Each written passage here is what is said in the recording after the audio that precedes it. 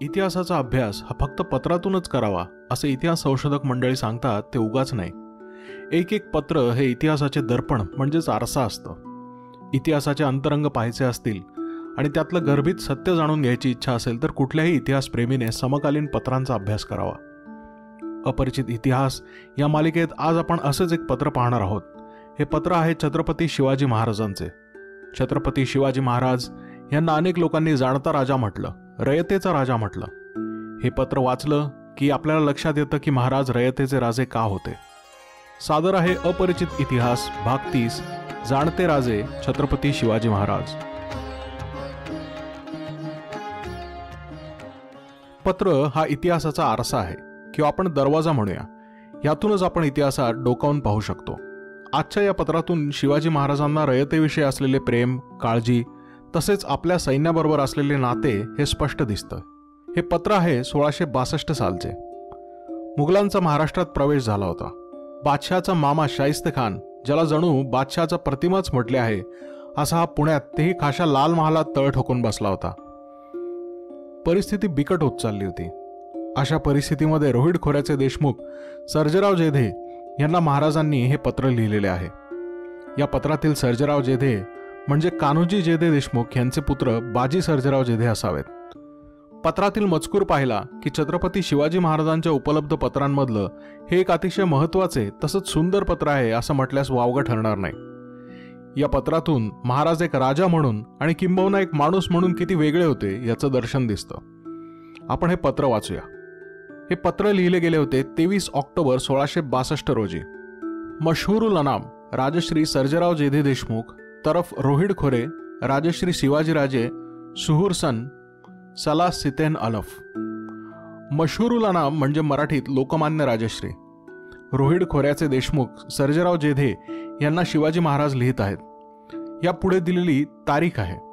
शिवकालीन पत्र वाचनाचं एक शास्त्र आहे. त्याचा एक विशिष्ट मायना असतो. यात पत्र लिहिणारा पत्र पावणारा आणि वर्ष इत्यादीने सुरुवात होते. या पत्रातील वर्ष आहे शुहूर सन सलास सितेन अलफ.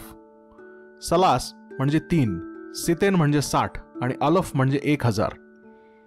म्हणजे यावरून हे पत्र शूर सणातील एक हजार त्रेसष्ट साली लिहिले गेले आहे हे आपल्याला समजतंय.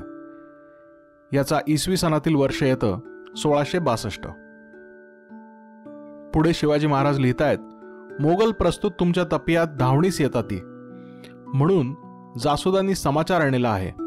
हे थोडक्यात मोगल तुमच्या प्रांतामध्ये धामधूम करण्यासाठी येणार आहेत असा समाचार हेरांनी आणलाय. हेर किती जागरूक असत आणि योग्य वेळी बातम्या आणत असत याचा आढावा आपण आपल्या हेर खात्यांच्या व्हिडिओमध्ये घेतलेला आहे. इथे वर आलेल्या लिंकवर क्लिक करून तुम्ही तो हेर खात्यावरील व्हिडिओ पाहू शकाल. पुढे महाराज लिहितात तरी तुम्हास रोखा अडताच तुम्ही तमाम आपले तपियात गावचा गाव ताकिदी करून माणसे लेकरे बाळे समतर तमाम रयती लोकास घाटाखाली बाका जागा असेल तेथे पाठवणे. म्हणजे तुम्हाला हे पत्र मिळताच तुमच्या प्रांतातील गावोगाव जाऊन तिथल्या लोकांना या संकटाची कल्पना द्यावी आणि त्यांना लेकरा बाळांना घाटाखाली अवघड जागा असेल तिथं सुरक्षितपणे नेऊन हलवावे. बाका म्हणजे आपण म्हणतो ना प्रसंग बाका. म्हणजे कठीण. इथं अवघड अशा अर्थी हा शब्द वापरलेला आहे. जिथे शत्रू सहज पोहोचू शकणार नाही अशी ही जागा. तिथे त्यांना पाठवा असं महाराज लिहित आहेत. जेथे गनिमाचा आजार पोहोचे ना ऐशा असी त्यासी पाठवणे. हे कामास हयगई न करणे.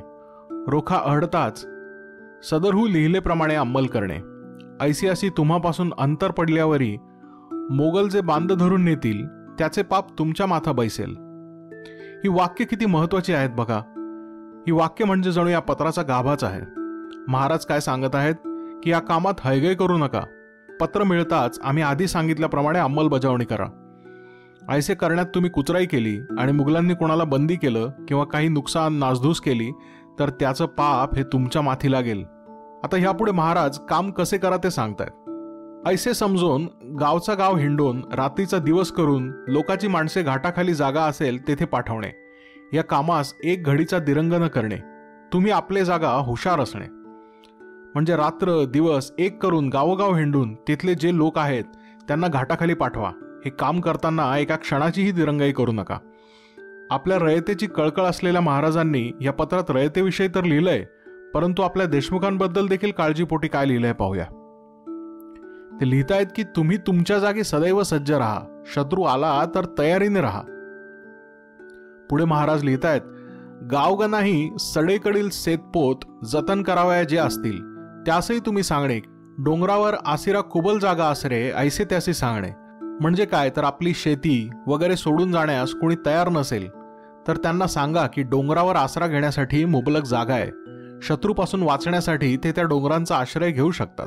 पुढे महाराज लिहित आहेत की गनिम दुरून नजरेच पडतास त्याचे धावणीची वाट चुकवून पळून जाणे. तुम्ही आपले जागी हुशार राहणे. आपल्या सैन्याच्या सुरक्षेच्या दृष्टीने इथे महाराज सांगतायत की दुरून शत्रू दिसलाच तर त्याचा रस्ता चुकवून पळून जा. आपल्या जागी हुशार म्हणजे सुरक्षित असा. अशा अर्थी हे वाक्य आहे. प्रत्येक वेळी लढणे हाच पर्याय असतो असे नाही. शाहिस्ता खान काही लाख फौज घेऊन स्वराज्यावरती चालून आला होता. त्याचे सैनिक हिंदवी स्वराज्यावर वरवंटा फिरवत होते. अशा प्रसंगी हेरांनी दिलेल्या बातमीप्रमाणे जर त्या भागात त्याचे लोक चालून आले तर ते प्रचंड नासधूस लुटमार करतील याची महाराजांना कल्पना होती. म्हणून ते गावातील लोकांची काळजी घेण्यासाठी सर्जेराव देशमुख यांना सांगतायत. पण त्याचवेळी त्यांच्याशी न लढता पळून जा असंही सुचवत आहेत. यालाच गनिमी कावा म्हणतात. प्रसंगी पळून जाण्यातही कोणता कमीपणा नसतो. त्या क्षणी जीव वाचणे अत्यंत महत्त्वाचे असते हेच महाराज इथं सांगतायत. शिर सलामत तर पगडी पचास. या न्यायाने जीव वाचला तर फिरून पुन्हा लढाई करता येऊ शकते. पण जीव गमावला तर सर्व प्रदेश शत्रूच्या हातात अलगत पडेल. म्हणून महाराजांचा हा सुज्ञपणाचा सल्ला आपल्याला इथं दिसून येतो. महाराजांच्या तालमीत तयार झालेल्या त्यांच्या निष्ठावंतांवर या विचारांचा किती पगडा बसला असेल याची पुढे भविष्यात आपल्याला अनेक उदाहरणं मिळतात. छत्रपती संभाजी महाराजांची हत्या झाल्यानंतर संपूर्ण महाराष्ट्रच युद्धभूमी बनली.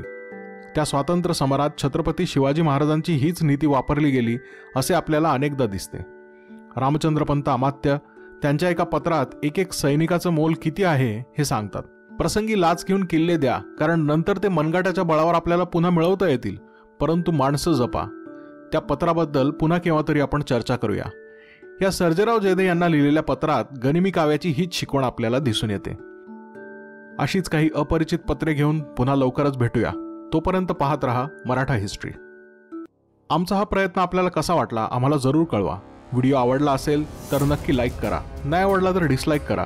परंतु हा व्हिडिओ आपल्या मित्रांसोबत शेअर करायला मात्र विसरू नका. आपलं हे चॅनल मराठा हिस्ट्री नक्की सबस्क्राईब करा.